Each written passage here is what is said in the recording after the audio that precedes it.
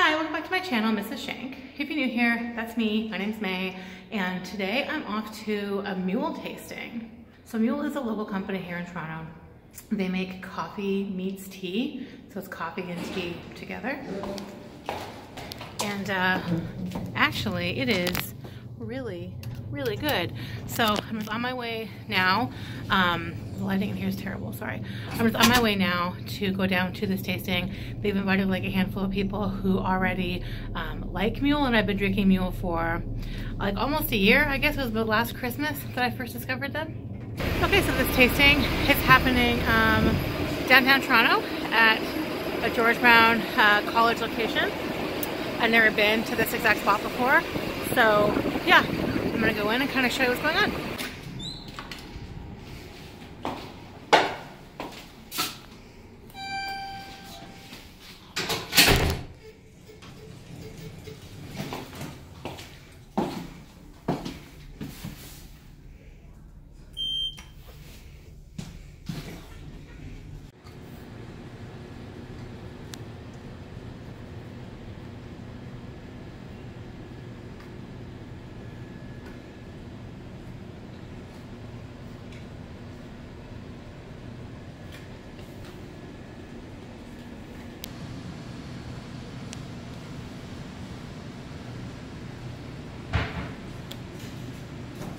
taste four, then eight, then twelve.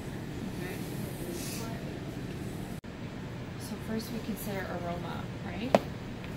Yep, I need to know what you think about the smell, what you think about the taste, the intensity of the flavor.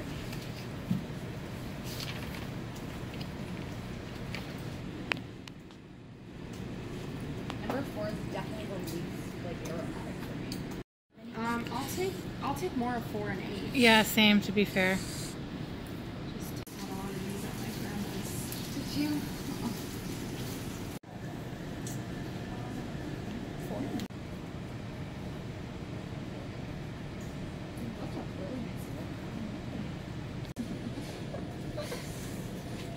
Yeah. Yeah. Christmas for sure. Yeah, not getting the um, peppermint smell on five. Me neither. Yeah. Yeah, same. It, it smells, chocolatey, mm. but I yeah, don't feel like it smells peppermint. I, yeah. Okay, so that was fun. It was um, a small group of us. I got to meet the founder, which was really fun, um, and then like her consultant that she works with since the beginning. So that was really cool, and we got to sample a lot of different flavors. Um, and I'm gonna just kind of like pull my thoughts together about them, um, and then like tell you all about that when I get home, because I also feel like it's starting to rain, and um, yeah, I'm not about that. All right, so it's actually the next day now, and I've come home and had one cup of each of the three Muul flavors since the tasting yesterday. So the tasting was for developing the existing flavors. Like the purpose of yesterday's tasting was to sample some of the changes to the existing flavors. Muul works with the food scientists at George Brown College here in Toronto to develop their flavors, and actually a lot of successful brands here in Toronto have done that, like a lot. I showed you just a very small sample of them in the cabinet there in the kitchen yesterday. There are tons of other brands that work with them. So there were three flavors of Muul. There's the festive chocolate peppermint, the Earl vanilla, and the ever popular maple chai. So yesterday we had three samples of the chai, two of the Earl vanilla, and three of the chocolate peppermint. I am not going to talk about the differences between these samples because I'm sure it's proprietary and since these new flavors are under development, I just see it as an honor to be included at all without telling the internet about like their recipe development. However, I will talk a little bit about the process because it's really neat. So the food scientists prepare all the different samples with three of two kinds and then two of the other. We had a total of eight samples to talk about, and really that's what it comes down to talking about the differences, the things we noticed, the things we liked, and what we didn't like about them. And as I'm sure you can imagine, the conversations were just as much about smell as taste.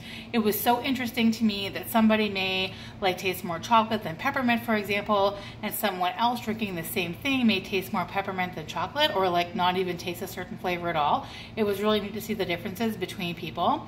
I'm a big fan of Muul, and you already know that I love coffee. So generally, I'm not much of a tea drinker at all. I have my almond milk green tea latte in the afternoon while I'm knitting, and then I try lately to switch to green tea later at night, but that's like for health benefits and the reduced caffeine, although if you've been watching my channel for a while, then you also know that I will happily drink coffee right before bed, and it's actually a habit I'm trying to break. So having said that, I really like this combination of coffee and tea, even though I'm a coffee drinker.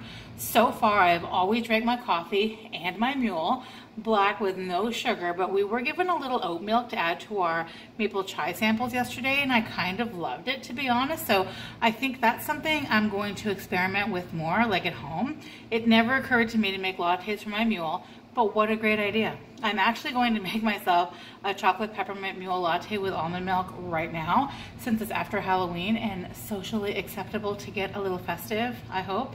If you're local, you can find Muul at the Toronto Designers Market in Parkdale and at Noah's Natural Foods on Bloor. If you're not in Toronto and you want to try it out, you can order it from well.ca or straight from their website, mugofmuul.com, and I'll link all that stuff down in the description. And also, just a little heads up, Muul is going to be included in a holiday giveaway during Vlogmas that I'm doing, so stay tuned for that.